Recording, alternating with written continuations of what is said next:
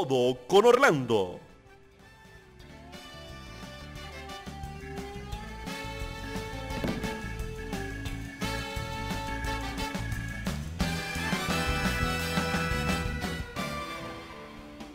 Estimados amigos, sean bienvenidos. Yo soy Orlando Urdaneta y están viendo ustedes CB24 desde el corazón verde de Centroamérica, transmitiendo para la región y para el resto del mundo. Antes de comenzar con el mapa político de hoy, un comentario. Un comentario que tiene mucho que ver con el tema que vamos a tratar hoy, ya que el comentario, aunque breve, va a ser para invitarlos a que vean ustedes cuál es el, panorama de Venezuela con respecto a los presos políticos, con respecto a los prisioneros políticos, con respecto a la cantidad de hombres que tienen años, llevan años enterrados en una celda, que ni siquiera han recibido un juicio, muchos de ellos, que recibieron un juicio y fueron exonerados, que tienen boleta de carcelación y que no se han movido. Y lo que quiero que hagan cuando recorran junto a nosotros ese panorama, los próximos minutos, es que se acuerden de que con ese atajo de delincuentes que tienen prisionero a tanto inocente, es con quienes una oposición que se cree la dueña absoluta de la verdad y del derecho a decidir por todos los demás, va a ir a unas elecciones. Es decir, ellos van a negociar con la delincuencia organizada, ellos van a negociar con los narcos que están controlando el país, desde el brazo impotente de Raúl Castro, que es impotente, pero tiene el brazo puesto en Venezuela, ¿verdad? Hasta el combo de, de, payasos que hacen la farsa, con el perdón de los honorables payasos, que hacen la farsa de gobierno en Venezuela, y por supuesto secundados por los narcogenocidas que controlan el narcotráfico de buena parte del mundo desde territorio venezolano. Todavía estamos averiguando lo de la amapola, porque por las relaciones con el mundo islámico probablemente, probablemente ya estemos también metidos en amapola desde Venezuela. Eso lo sabe mejor los Estados Unidos y en su momento saldrá a la luz. De todas maneras, gracias por acompañarnos. Aquí está el programa.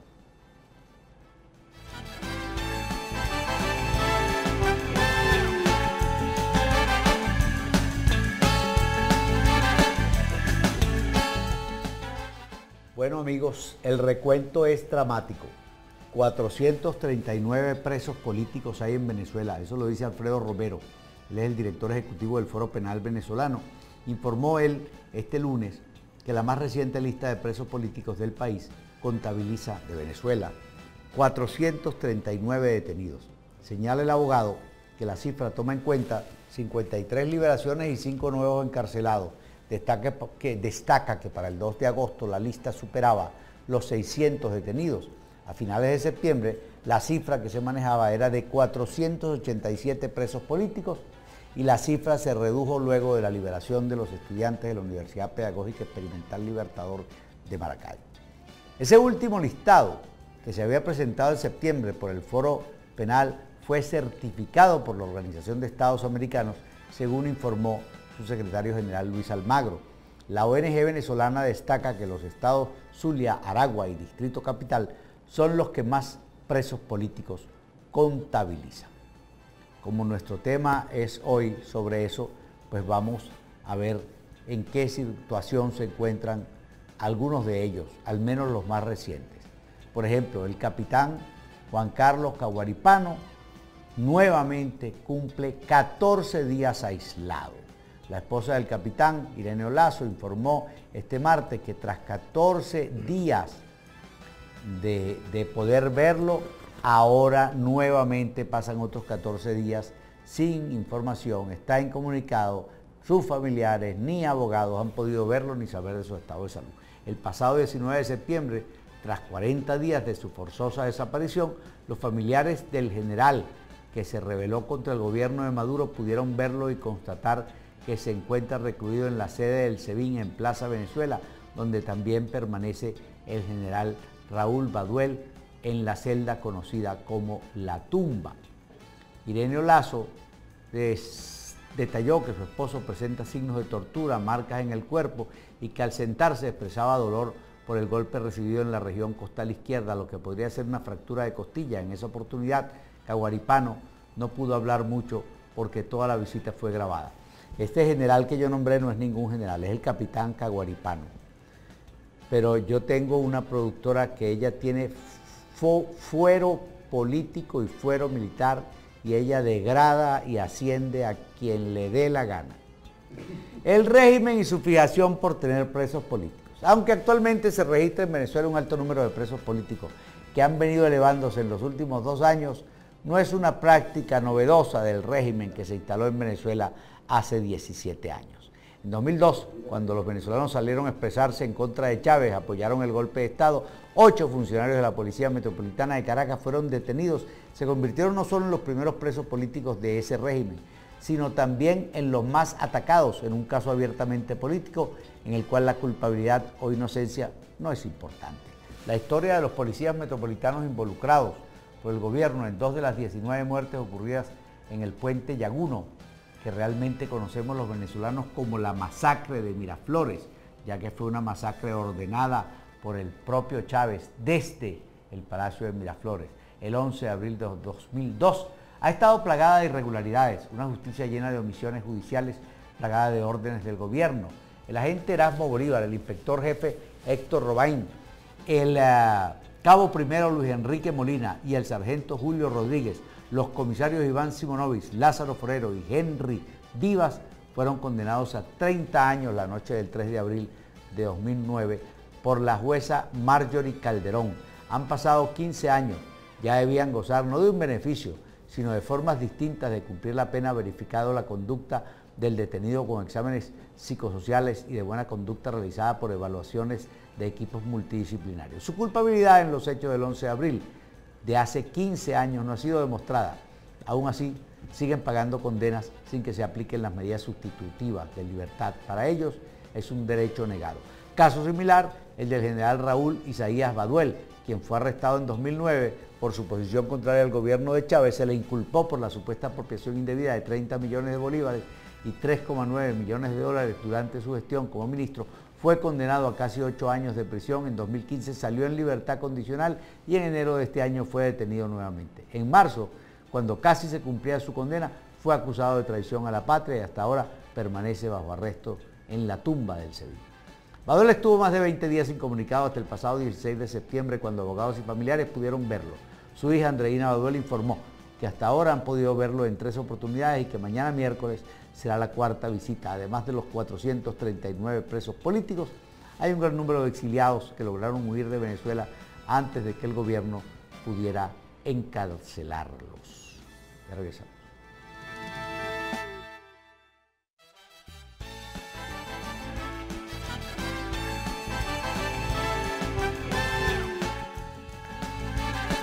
Familiares del general Ramón Lozada Saavedra denuncian su grave estado de salud. El general retirado de la Guardia Nacional de Venezuela, Ramón Antonio Lozada Saavedra, fue arrestado el pasado mes de enero, presentado ante la Corte Marcial, imputado por traición a la patria e instigación a la rebelión militar. Esta semana su esposa, Luz Marina Pavón, y su abogada, Yasnaía Villalobos, han denunciado a través de las redes sociales que Lozada Saavedra se encuentra en grave estado de salud debido a que sufre de diabetes, gastritis crónica y actualmente padece de desnutrición aguda.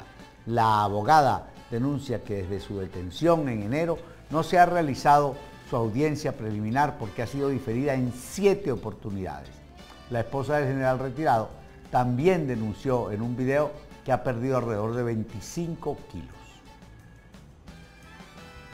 Mi nombre es Luz Marina Pavón, esposa del general Ramón Antonio Lozada Saavedra, preso político.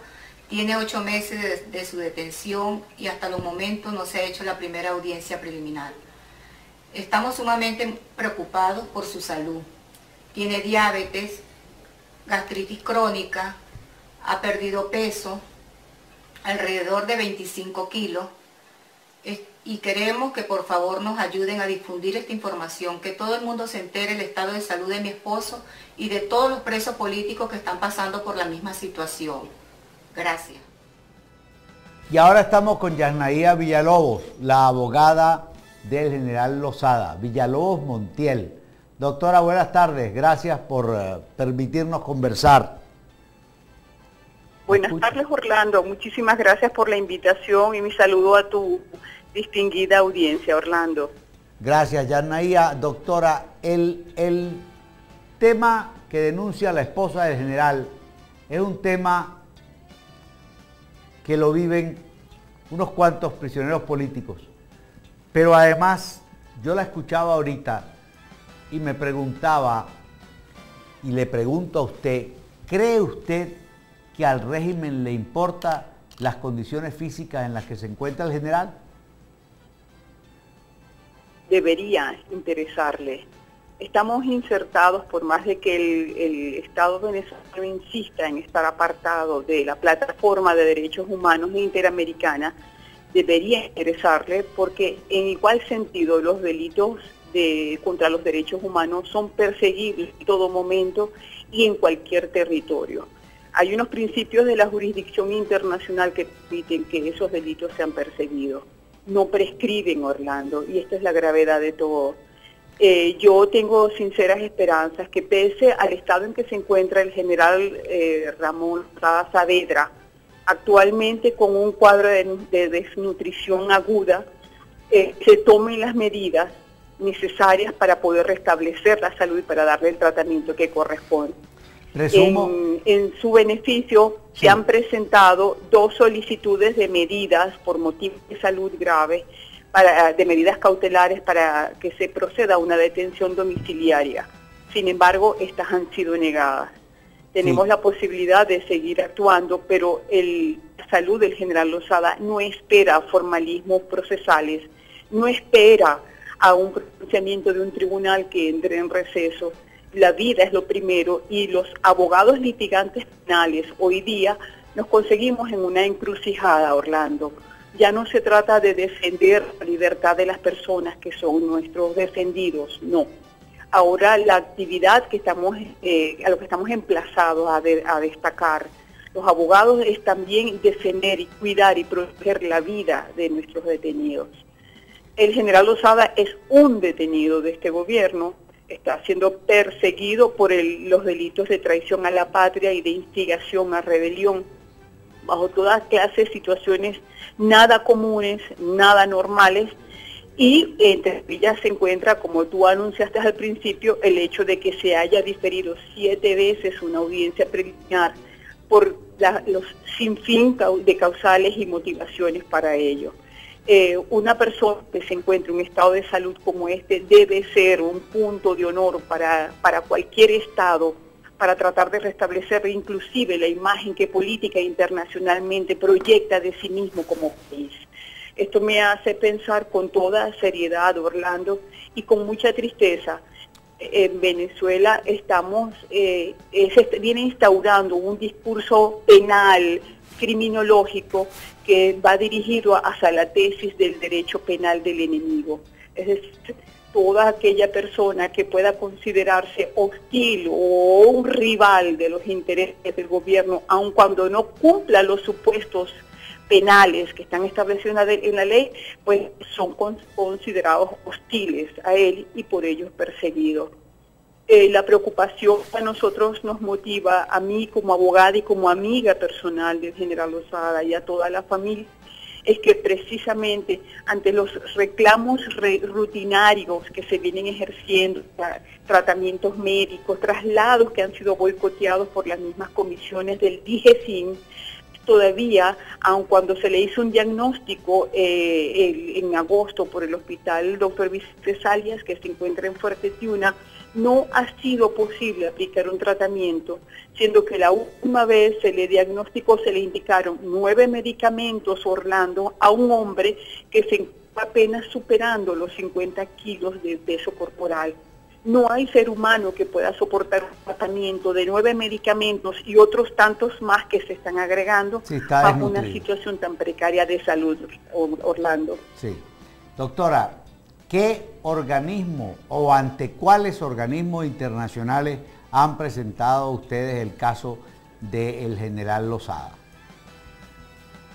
Bueno, fíjate, primero eh, desde, la vía, desde la vía interna se han acudido a todo lo que tiene que ver las instancias eh, nacionales como son la Defensoría del Pueblo, la Fiscalía General de la República que aperturó una investigación en materia de derechos fundamentales, dejándote información de que hasta el momento eh, tenemos el, reporte por la misma Fiscalía que los funcionarios actuantes se les prohíbe el ingreso a la sede del DIGESIN desde el mes de enero de este año bajo toda clase de excusas.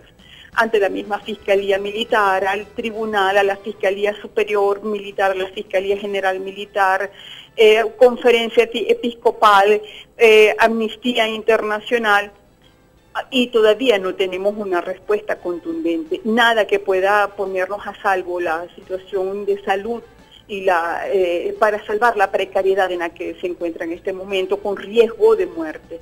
En este momento sí estamos actuando frente a la Comisión Interamericana de Derechos Humanos, eh, haciendo los seguimientos y las conducciones de rigor para que procedan a otorgarnos unas medidas cautelares. Cuando eh, intentaron la última vez visitarlo? La familia lo visitó el fin de semana, este sábado pasado. Las visitas son los días sábados dos horas, pero ha habido una práctica perniciosa últimamente que aun cuando se trata de visitas semanales, se las, se las han ido distanciando cada 15 días. Para nosotros es prioridad conocer y ver del general Osada todas las semanas para ir monitoreando el estado en el que se encuentra. Eh, y esto viene dado precisamente por las graves irregularidades que se pronunciaron desde el principio y que ya fueron, digamos, corregidas, en donde a él se le infligió toda clase de, de privaciones con los alimentos, suministro de agua y habiendo caído con problemas graves estomacales, donde se le negaba acceso a, salas sanitarias hasta por tres días y el agua que se le suministraba pretendía que se le fuera servida en el mismo recipiente que él utilizaba de manera emergente para, para, sus necesidades fisiológicas. Eh, esta es una situación muy paupérrima, muy deprimente, una situación que eh, directamente no habíamos tenido experiencia de conocer en, digamos, en la historia de Venezuela, en, fechas tan próximas, tan contemporáneas, Orlando. Por eso para nosotros es prioridad saber de él semana a semana para hacerle seguimiento. Yo particularmente no tengo ninguna privacidad para poder conversar con él, inclusive para tratar asuntos que son eh, eh, exclusivamente los que nos corresponde, que tienen que ver con asuntos de la defensa, porque estamos bajo amenaza de que si en el interlocutorio, por ejemplo, no utilizamos el teléfono del interlocutorio, él es sancionado con eh, restricción de visitas, eliminación de visitas e inclusive hasta, hasta de alimentos. De manera que aquí hay toda clase de violaciones en las que corresponden a las normativas mínimas de reclusión de las llamadas Nelson Mandela, que son las normas mínimas de la ONU, de la Organización de las Naciones Unidas. ¿Quién, dirige el penal?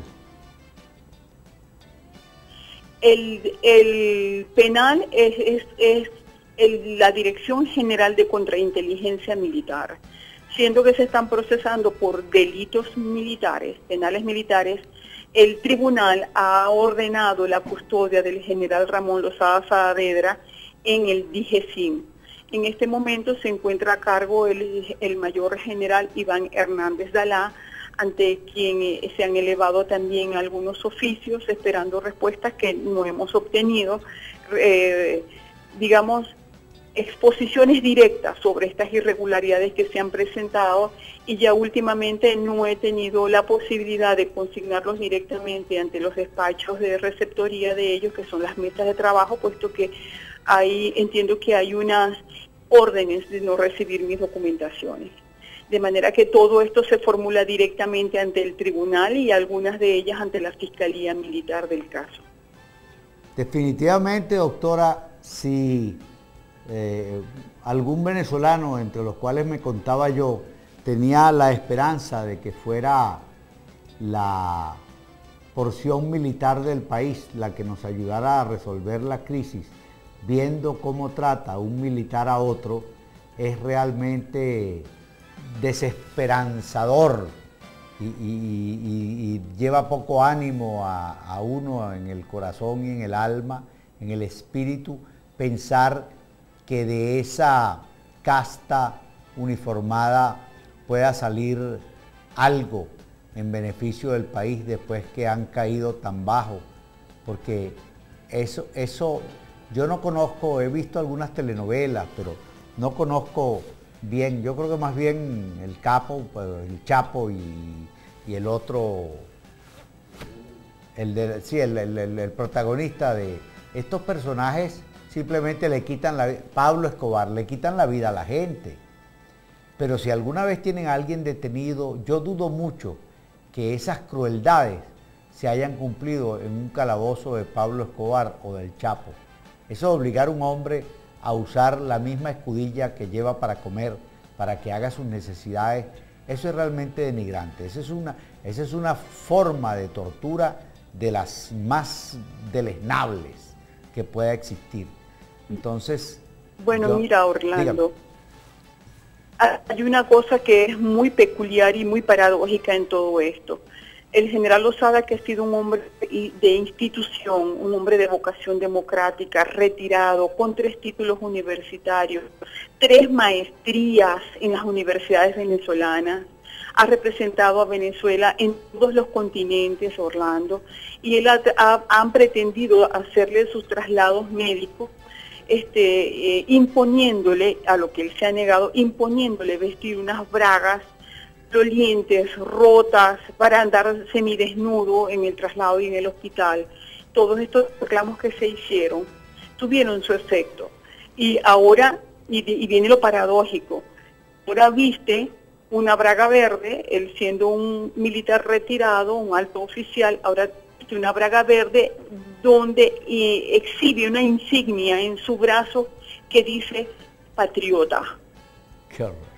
Él es un general retirado de las Fuerzas Armadas. Claro, claro, es la humillación. de todo, sí es un patriota, pero no está recibiendo el trato adecuado como venezolano, como ciudadano, como militar retirado y, mucho menos como patriota. La vejación, es la, es la vejación, es la, la reducción del ser humano casi hasta que pierde su, su condición de ser humano. Lo llevan hasta... Pero no sí, absolutamente, pero no, no estoy segura, Orlando, y perdóname que, está en esto, yo conozco a ese señor, a, Ramón Lozada Saavedra, y, nuestras son amigas de la infancia y hemos compartido mucho esa familia. Ese es un hombre de mucha entereza y mucha nobleza. El eslogan del general Ramón Lozada Saavedra es lo único que es, yo es tu dignidad, él puede, él puede perder muchas cosas, Orlando. Lo que no va a poder nunca ser hipotecado ni violentado será la dignidad de Ramón Antonio Saavedra. Sí, podrá ser sometido y hemos luchado muchísimo para que se respeten parte de unos de sus derechos. Pero él es un hombre de gran fortaleza moral, pese a que físicamente los pretenden hacer declinar. Y lo que sí está intacta es precisamente esa fortaleza moral, esa interés y su dignidad, Orlando. Bueno, eso es, eso, un, eso es un, valor adicional que, debe, que está inculcado en los hombres de institución de las Fuerzas Armadas, Orlando. Sí, definitivamente, es con lo que no han podido y por eso se les ha hecho cuesta arriba y nunca van a poder con la dignidad de los hombres eh, civiles y militares que ellos han tratado de doblegar con esas eh, técnicas tan, tan bajas y, tan, si se quiere, hasta trasnochadas. Eso es un sistema de, prisiones que solo se ve, se, había quedado para las telenovelas, para las películas. Eso no existe, esa, crueldad y esa hazaña. Es, eh, impresionante cómo en este, en este siglo y en este mundo y en este momento eh, se practica ese tipo de, sistema de prisiones absolutamente, repito, pasado de moda. Yo creo que la última vez que se vieron este, sistemas así debió ser en la isla del burro, hablando de Venezuela, o en, la rotunda. Y, yo creo que ni en la rotunda se vivieron las cosas que ahí este, están viviendo nuestros presos, nuestros prisioneros, mientras un sector del país siente que con este tipo de gente que opera este tipo de cosas, vale la pena ir a unas elecciones para tratar de salvar el país. Cada día mi duda crece más y no hay nada que me convenza de lo contrario. Dígame.